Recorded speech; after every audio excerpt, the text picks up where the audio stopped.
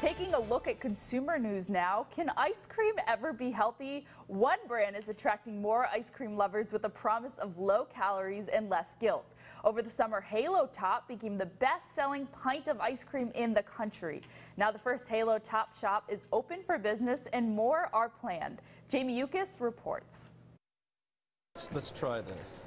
Whoa, whoa, a, little, a, little, a little fast. For Justin Woolverton, this was even better than being a kid in a candy store.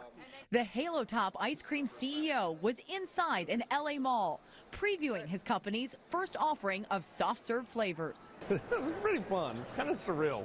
Surreal because just a few years ago, Woolverton was a litigator and hating his career. You just decide to jump off the cliff and take a risk.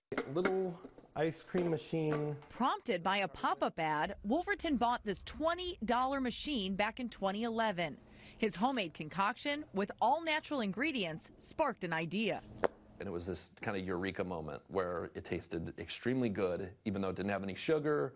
It was rich in protein. It was all natural. So I was like, hey, you know what? Here is my escape from law. He found a partner, Doug Bouton, another disgruntled lawyer, willing to go deep in debt to make ice cream. It hit stores in 2012, but didn't sell. So how'd you sleep at night? I slept restlessly. this is pretty good. Targeting millennials, they turn to social media, sending pints to YouTube influencers. But the key selling point became about calories. An entire pint has as many as a single serving of other ice creams. Sales skyrocketed 17 million hard packed pints in 2016. Under the lid, it reads Stop when you hit the bottom and guilt free zone, keep digging. But author and dietitian Samantha Heller says the slogans aren't healthy for those struggling with portion control. When the ice cream company can tell you eat the whole thing, it's encouraging bulk eating and binge eating.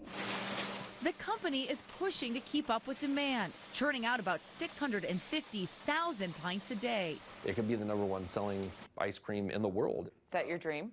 That is my dream. A dream for him and the best bite of reality for ice cream lovers.